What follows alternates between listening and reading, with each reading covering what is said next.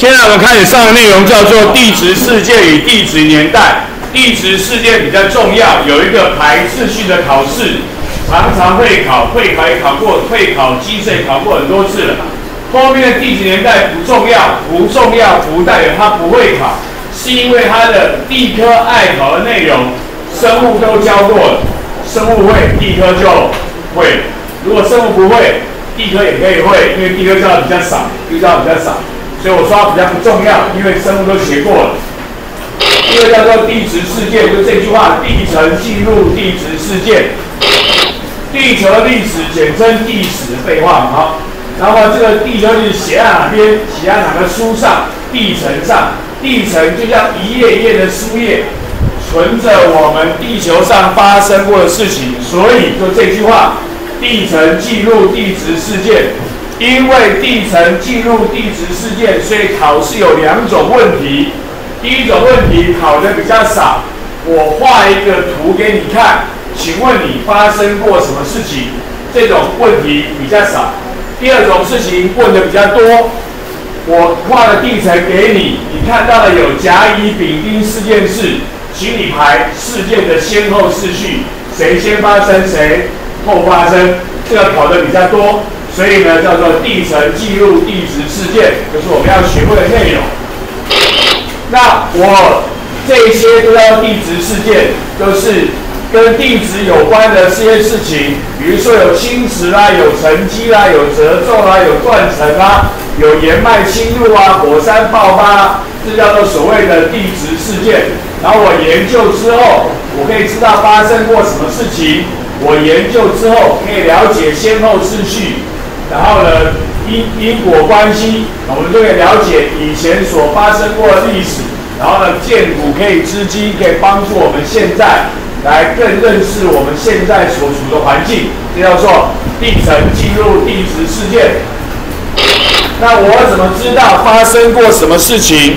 我怎么判断先后次序？第一个叫做原始水平率。这张图你还记得吗？这张图你还记得吗？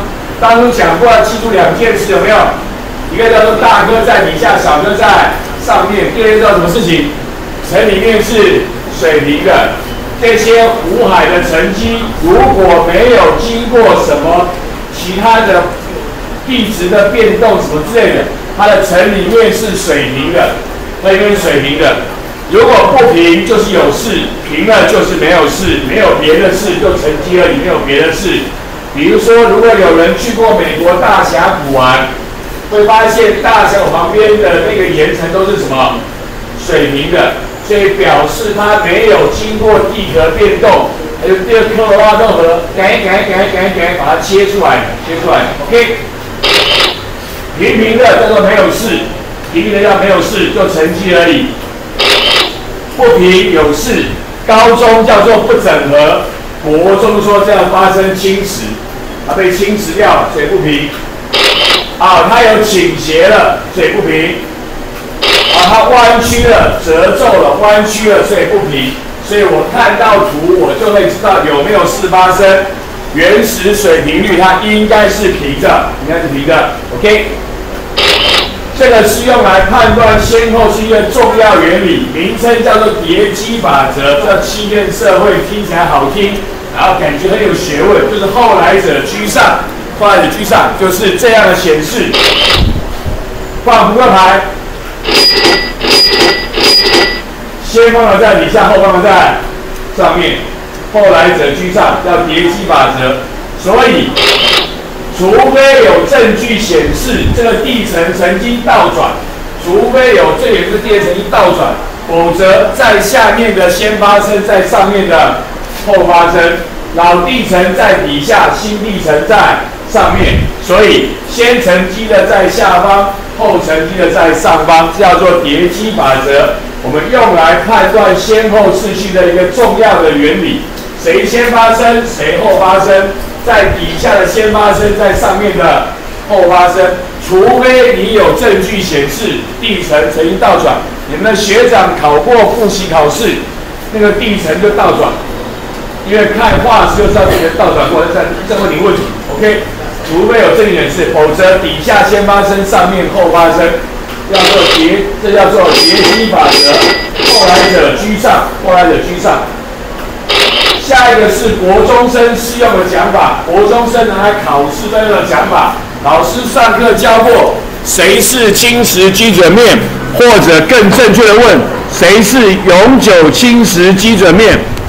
谁是永久侵蚀基准面？帅哥，珊珊，珊珊，谁？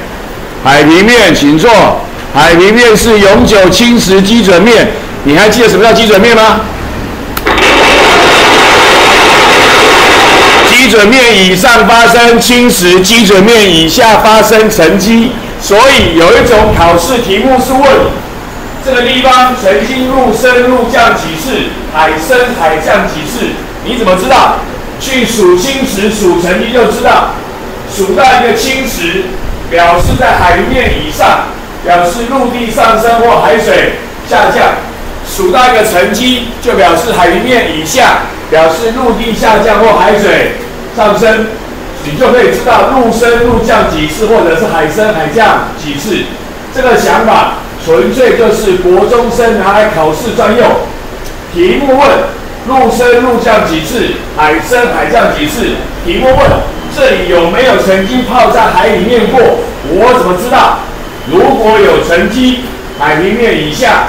如果有侵蚀，海平面以上，海面以上陆地上升或海水下降，海面以下表示陆地下降或海水上升，你就会知道陆升陆降几次，海升海降几次，可以吗？这就是我们用来判断的方式。OK，叠积法则、原始水平率，还有一个海平面是侵蚀基准面。啊，还有一个重要的，我们等下跟你讲，叫做节切原理。我们等一下就会跟你说，OK 吗？OK。